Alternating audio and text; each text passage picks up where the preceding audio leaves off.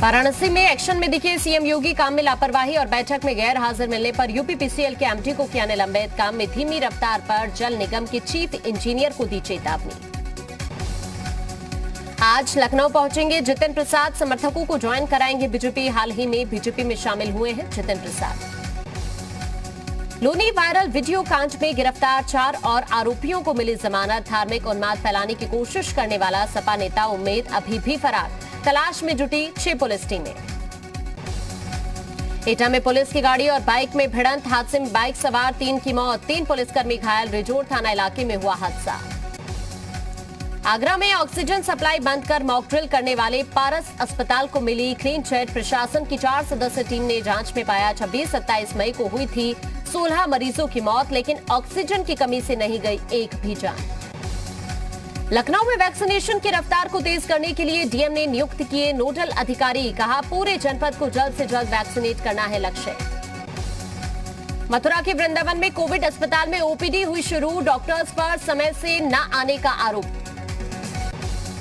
शाहजहानपुर दौरे पर पहुँचे कैबिनेट मंत्री सुरेश खन्ना, कहा, कोरोना की तीसरी लहर से लड़ने के लिए प्रदेश पूरी तरह से तैयार।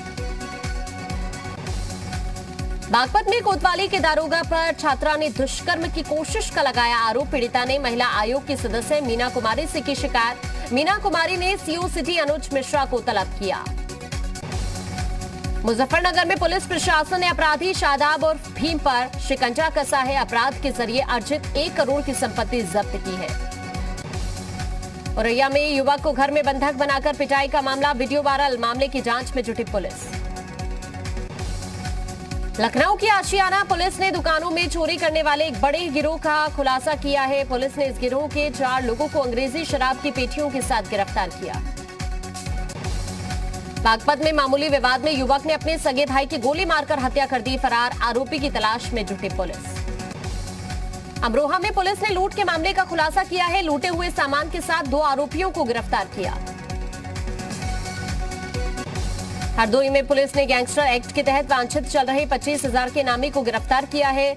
जमानत पर छूटने के बाद से था फरार।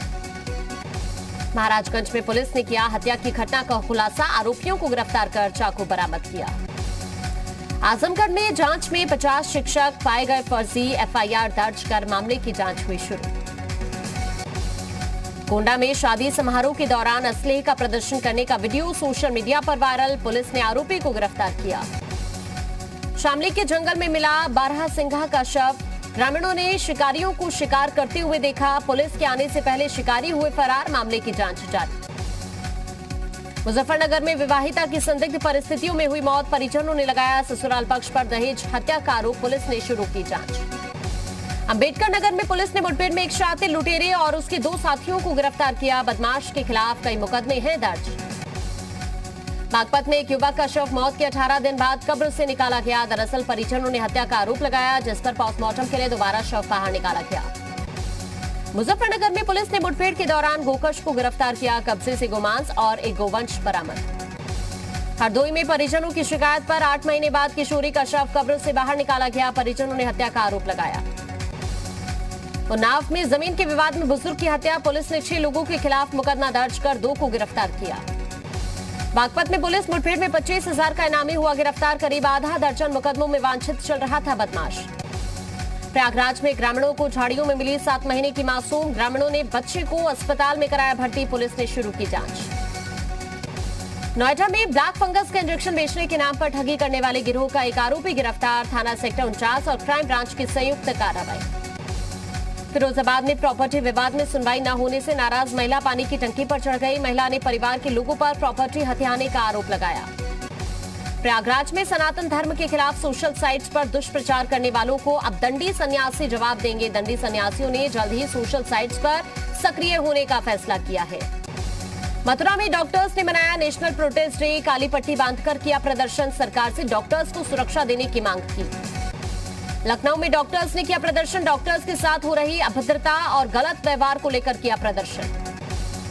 गोंडा में गोदाम प्रभारियों पर लगा मनमानी का आरोप। एक महीने से नहीं खरीदा जा रहा है गेहूँ। किसानों ने किया विरोध प्रदर्शन। अमेठी में संग्रामपुर ब्लॉक के गेहूँ क्रय केंद्र पर नहीं खरीदा जा रहा है गेहूँ। अधिकारियों के मुताबिक ऑनलाइन पोर्टल फिर से खुलने पर ही खरीदा जाएगा गेहूँ। चंदौली में मंडी समिति की अव्यवस्था और बारिश की भेंट चढ़े किसान किसानों को फेंकनी पड़ी सब्ज़ियाँ। पीलीभीत के बीएसए ऑफ़िस में अज्ञात कारणों से आग लग गई, आग पर फायर ब्रिगेड ने काबू पाया। राज्य महिला आयोग की सदस्य प्रभा गुप्ता ने चित्रकूट के जिला अस्पताल, वृद्धाश्रम और सामुदायिक स्वास्थ्य केंद्र शिवरामपुर का औचक निरीक्षण किया। इस दौरान उन्होंने अव्यवस्था मिलने पर संबंधित अधिकारियों को फटकार भी लगाई। रामपुर में डीएम ने बारिश को देखते हुए सभी नालों की सफ़ाई के निर्देश दिए हैं। अजीतपुर और पनवड़िया का निरीक्षण कर सफ़ाई कार्यों का जायजा लिया। मथुरा में गंगा दशहरा की तैयारियों में जुटा पुलिस प्रशासन। यमुना में साफ़ सफ़ाई और सुरक्षा व्यवस्था का अधिकारियों ने लिया जायजा। संभल में डीएम ने की अनोखी पहल, ज़िले को सुंदर बनाने और प्रदूषण मुक्त करने के लिए शुरू की वृक्षारोपण मुहिम। टांडा से लालपुर जाने वाली अस्थायी पुल को किया गया बंद, दूरी की वजह से लोग नदी पार करने को मजबूर।